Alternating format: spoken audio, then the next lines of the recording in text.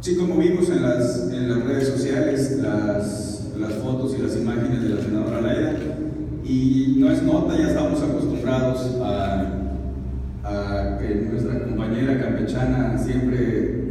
dé algún, alguna noticia, y en el vecino estado de Tabasco pues no fue la excepción, y decirles más que nada que, que la gente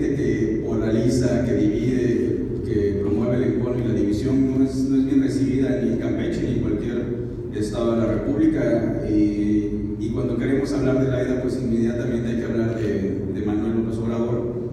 Y estamos preocupados mucho por el tema que está pasando en el vecino país de Estados Unidos con una persona autoritaria e intolerante que está en todo su derecho de buscar la candidatura presidencial.